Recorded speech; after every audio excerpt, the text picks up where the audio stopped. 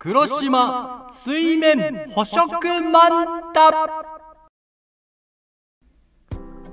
皆さんこんにちは。徹夜チャンネルの時間です。はい。前回南風が吹いてしまい黒島に行くことができませんでした。今回はしっかりと北寄りの風に変わってくれました。それではポラリスの大志くんと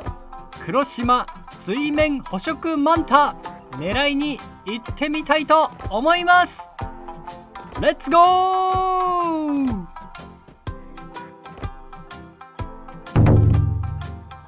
はい。黒島に到着しました。天気も最高でございます。まあ、天気はいいと言ってもですねまだまだ北寄りの風非常に冷たく感じますので船の上ではボートコートや1枚羽織るものがあった方が快適に過ごすことができます。いや真夏の格好の人いる。いつもおなじみ説明の人です。冬の名物黒島水面捕食マンタ。この時期になるとリーフの近くに大量に増えるプランクトンを求めてマンタたちが集まって大迫力の捕食シーンを見ることができます。マンタの他にもプランクトンを食べる魚たちもたくさん来ております。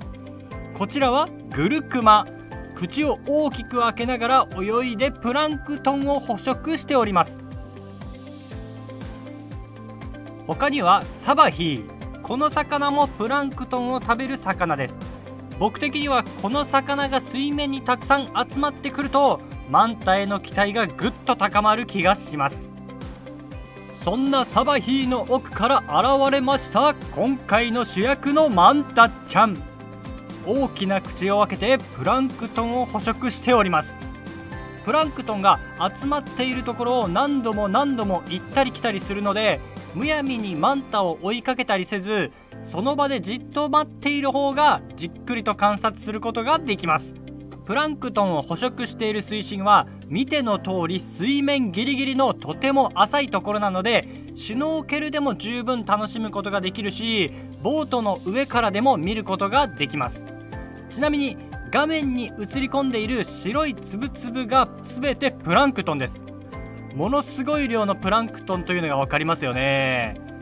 プランクトンの中には肌に触れてしまうとチクチクと刺してくるものもいるので肌の弱い方はできるだけ肌を出さないようにしましょう、またまにびっくりするぐらい痛いやつもいるので覚悟しておいてください。普段マンタの捕食シーンは横方向に行ったり来たりすることが多いんですけど今回は縦回転の捕食シーンが見れました。縦回転の方がアクロバティックで見応えありますよね。でねでね撮影中に気づいちゃったんですけどここの黒いゴミこれカメラのセンサーについたホコリが映り込んでしまってるんですよ。うわーとか思いながら水中でカメラ開けるわけにもいかないしもう完全にやっちゃいましたね、まあ、ちょいちょいこの黒いホコリが気になると思うんですけど皆さんマンタに集中していただいてホコリは気にしないでください。え皆さんもレンズを取り付けるときはブロワーでしっかりとホコリを飛ばしてセッティングしましょう。水中で気づくと結構テンション下がります。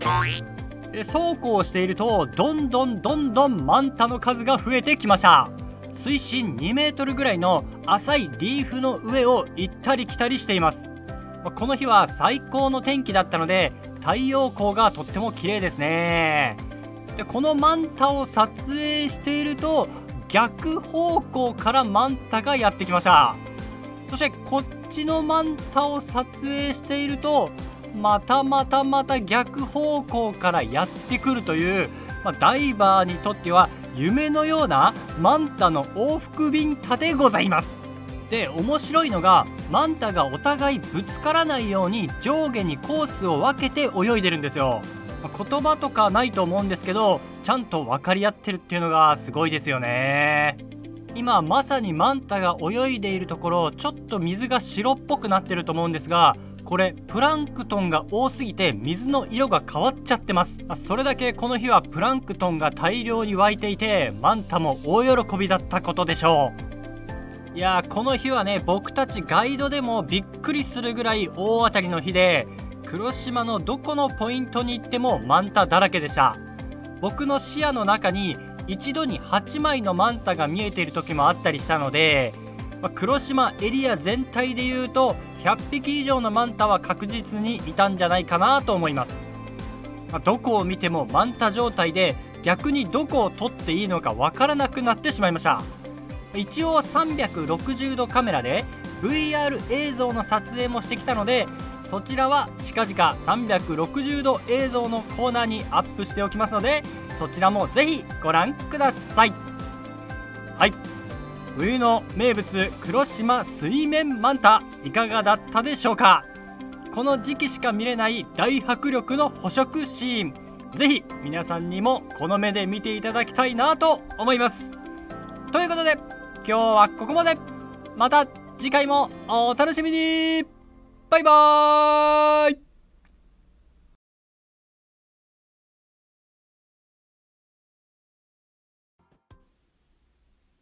はい。チャンネル登録高評価ボタンコメントどしどしお待ちしております。よろしくお願いします。